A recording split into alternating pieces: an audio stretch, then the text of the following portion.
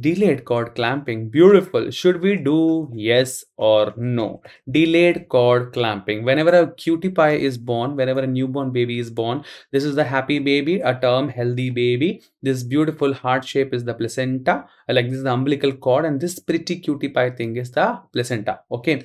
One uh, beautiful thing i remember please remember whenever uh, you deliver a baby no? Like the gynae people and um, pediatrician will be there.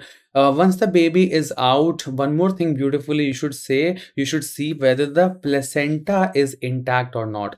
Whether the placenta is dispersed or cotyledons are there or it's like you know it's it's is it a beautiful intact placenta? That is something my HOD had told like this is you should know. You should see the baby and how is the placenta. Because the placenta is not intact or not a good beautiful placenta like in the picture the baby can have multiple problems so now the topic of choice is delayed cord clamping, like delayed, delayed.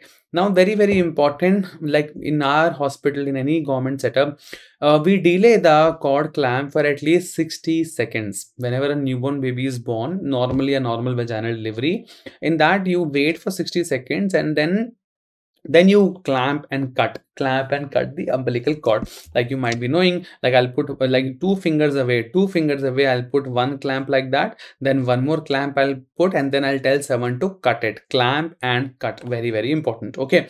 So why 60 seconds uh, why are we waiting for 60 seconds to you know for the umbilical cord? Uh, so most importantly number one in a healthy normal deliveries we wait for 60 seconds. Don't think that uh, every cesarean every emergency mother having preeclampsia eclampsia you are doing a delayed cord clamping? No. If the mother is stable baby is stable looks fine you then you delay the cord clamping.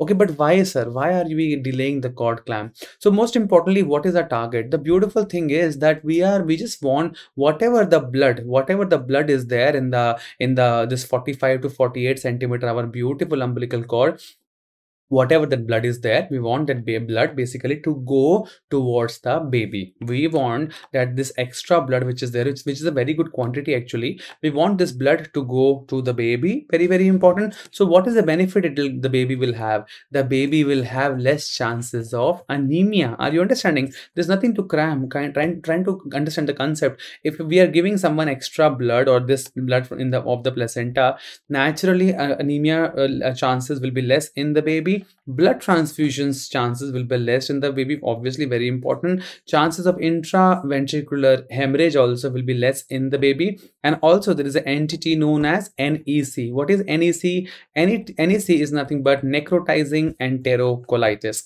Necrotizing enterocolitis. So this is like an NEC is one beautiful chapter we're going to talk about it in the end of the video in the end of these segments. So just remember uh, that there is some eh, problem of the baby something related to intestine known as necrosis of the intestine happens in the baby who are usually a preterms or who are usually a bottle fed baby I'm trying to give you a glimpse of the thing. Okay.